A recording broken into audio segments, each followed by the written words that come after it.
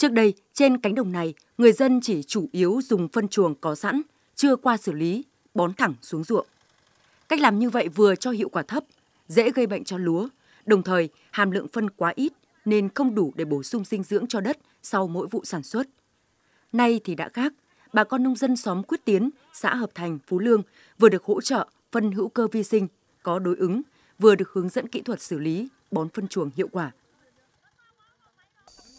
Trước kia là ừ, chưa có cái chế phẩm này thì tôi ờ, phát dạ đi xong tôi cày bừa xuống để để nó ngâm ngâm cho nó dạ nó thối đi. Tôi làm theo cách truyền thống thì là ừ, ừ, như vậy thì cây lúa nó thường hay bị bệnh vàng lá, đỏ cả cây ra.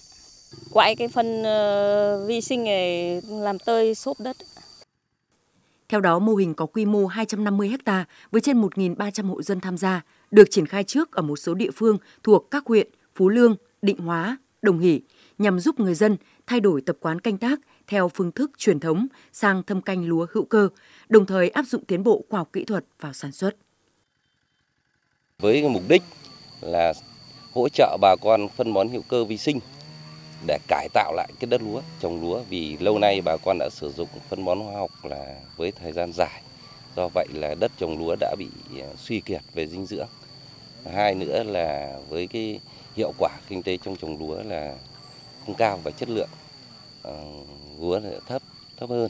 Thế do vậy với cái mục tiêu như vậy thì trung tâm hỗ trợ phân bón hữu cơ vi sinh để bà con cải tạo đất trồng lúa, nâng cao độ tơi xốp của đất trồng lúa lên và nâng cao hiệu quả kinh tế và chất lượng của hạt gạo. Ngoài ra trong quá trình thực hiện mô hình, bà con còn được hỗ trợ, hướng dẫn, quản lý sức khỏe cây trồng tổng hợp, sản xuất an toàn Việt Gáp, tiêu chuẩn hữu cơ. Qua đó góp phần nâng cao chất lượng, giá trị các sản phẩm lúa gạo, cải thiện thu nhập của người trồng lúa khi tham gia mô hình.